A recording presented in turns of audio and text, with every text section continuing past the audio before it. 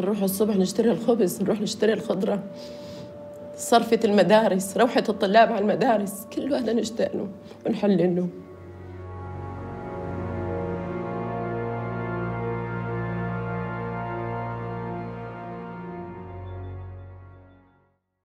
You're endorsing me and you want to see it stopped. How bad is it? They said, Mr. Trump, you have no idea. We have the equipment, we have everything. We're told to stand back and let people just flow across like Swiss cheese, okay? We're not talking about legal immigration, we're talking about illegal immigration, and we need to finally get a handle on it, and this president is trying to make that happen. I think we need the wall. How important is the wall? To the Border Patrol people. They said, Mr. Trump, it's absolutely vital. And if you look at this, I mean, what the American public has to understand is border security is an issue of national security, it's an issue of economic security, it's an issue of public safety. We're going to build the wall. We have no choice. We have no choice. Build that wall. Build that wall. Build that wall. Build that wall.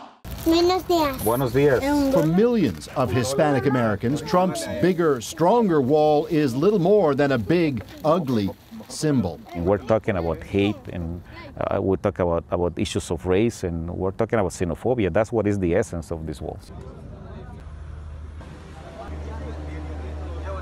Life jackets, cut this now.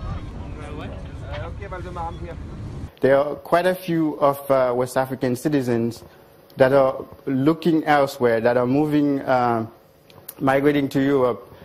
En 2015 et début 2016, la crise migratoire a engendré un flux sans précédent de plus d'un million de réfugiés et de migrants sur la route de la Méditerranée orientale, la majorité d'entre eux en provenance de Syrie. In fact, the vast majority of West African citizens uh, that, who choose to migrate, they do so within the region itself. Déjà à l'origine de deux crises européennes cet été, l'Aquarius est à nouveau au centre des débats. C'est l'axe le plus emprunté par les migrants voulant se rendre en Europe. La route de la Méditerranée centrale où transitent majoritairement des Syriens, des Somaliens et des Érythréens partis de Libye et d'Égypte, plus de 200 000 l'année passée.